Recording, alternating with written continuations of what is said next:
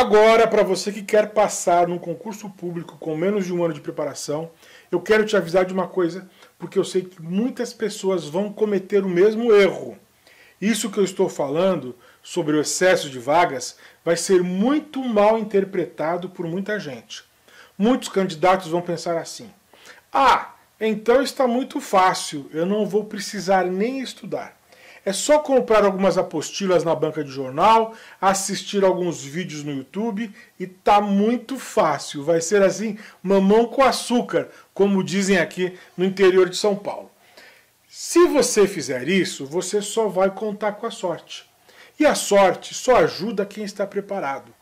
Quanto mais cedo você começar a se preparar, sem precisar se matar de estudar, com mais antecipação, mais a sorte vai te ajudar a ter perguntas que você vai saber como responder na hora do seu exame. A sorte, veja só, presta atenção, a sorte não tem que te ajudar. É você que precisa ajudar a sua própria sorte.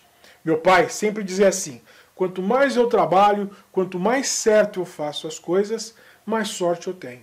Então, parafraseando meu pai, papo reto, a ideia é essa. Quanto mais você estudar do jeito certo, mais a sorte vai te ajudar. E o jeito certo de aproveitar esta oportunidade de uma oferta absurda, quase que inacreditável, de tantas vagas que vai acontecer em breve é o seguinte: o jeito certo de ajudar a sorte é esse. Em primeiríssimo lugar, escolha a carreira pública que você quer seguir. Ok? Depois, adote um método que te ensine estratégias de aprendizagem táticas e técnicas de estudo para aprender com mais consistência e com mais permanência. Faça um planejamento de um ano. Depois, inscreva-se na websérie Aprovado em um ano. Inscreva-se nas minhas redes sociais e comece a acompanhar as minhas orientações sobre como se preparar corretamente para um concurso desde o início, desde o seu primeiro dia de estudos. Ou seja, estou dizendo o seguinte: comece a estudar com um método de forma orientada e organizada.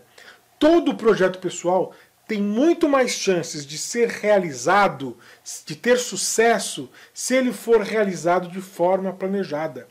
Projetos realizados assim, de forma caótica, sem método, sem organização, fracassam em mais de 90% dos casos.